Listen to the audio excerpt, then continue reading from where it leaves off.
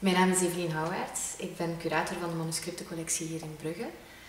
We hebben een collectie van uh, meer dan 800 manuscripten, waarvan uh, 550 of bijna 600 middeleeuwse manuscripten.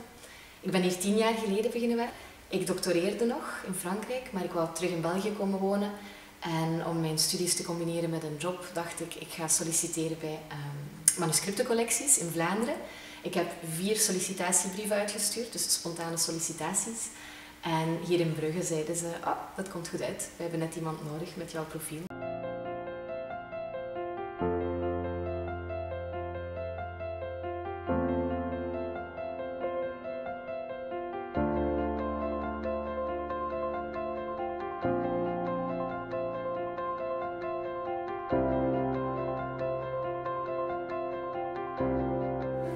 Je zou het misschien niet verwachten, maar de job van een curator van middeleeuwse manuscripten is heel erg gevarieerd en elke dag is anders.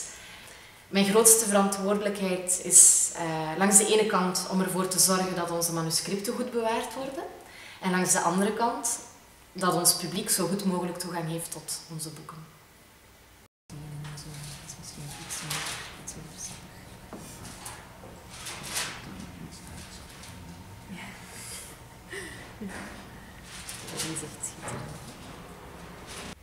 Voor mij zijn erfgoedstukken eikpunten in ons menselijk bestaan. En dat geldt voor middeleeuwse boeken, maar ook voor uh, zaken in het dagelijkse straatbeeld, zoals kathedralen of art deco-huizen. Die helpen ons om beter te begrijpen waar we vandaan komen. En dankzij dit soort materieel erfgoed wordt geschiedenis plots een pak concreter. En je kan in boeken wel lezen over de middeleeuwen, maar vaak blijft dat toch ja, heel erg abstract. En door dezelfde dingen te ervaren die zij ervoeren, komen die mensen veel dichter bij ons te staan en wordt alles veel concreter.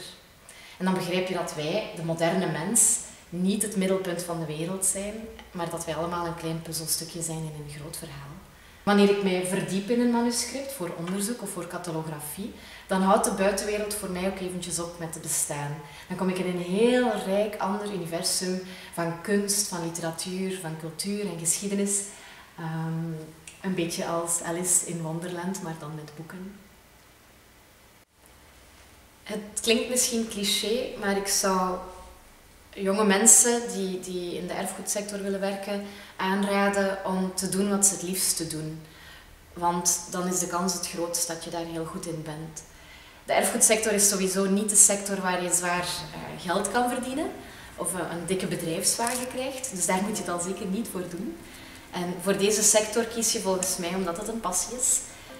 Ik krijg bijvoorbeeld nog steeds vlinders in mijn buik bij het zien van middeleeuwse manuscripten. En dat is voor mij een teken dat ik op de juiste plaats zit. En ik raad je aan om dat gevoel ook te zoeken.